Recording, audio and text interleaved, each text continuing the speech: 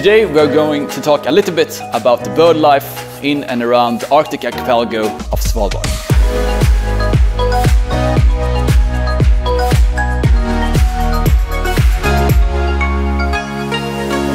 Hi everybody and welcome to the Expedition Guide, the ultimate guide to expedition cruising in polar regions.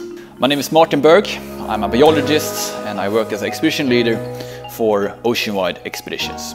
Many people visit Svalbard for its beautiful scenery, the polar bears and walruses. But Svalbard is actually also a birder's paradise. The birding expedition actually starts at Longyearbyen, the capital of Svalbard. Most common birds here are the snow buntings, the purple sandpipers, the barnacle geese and the pink-footed geese. Best way to explore the bird life of Svalbard is to leave Longyearbyen behind and head north. The most frequently encountered birds are the glaucous gulls, black-legged kittiwakes and the common eiders. A keen observer may also see the more elusive king eider. Entering the remote research community at Ny-Ålesund, we have a chance of seeing the red-throated diver and the red phalarope. And little auks breed in huge colonies high up on the cliffs at Fuglesangen.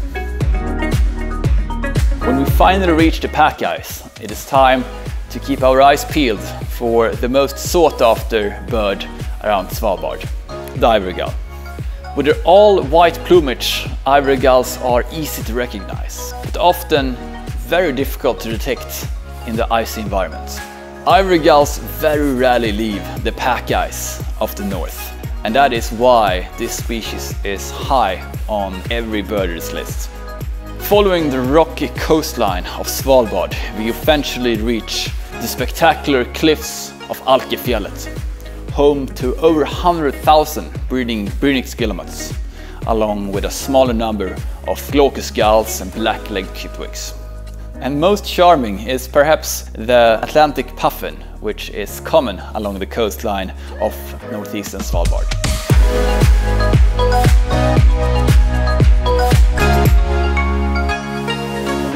These are just a few of the birds you may encounter in this beautiful Arctic environment. If you want to learn more about the birds found in and around Svalbard, check out our website or uh, drop a comment in the section below. That's all for now. Thank you for watching and let's go exploring.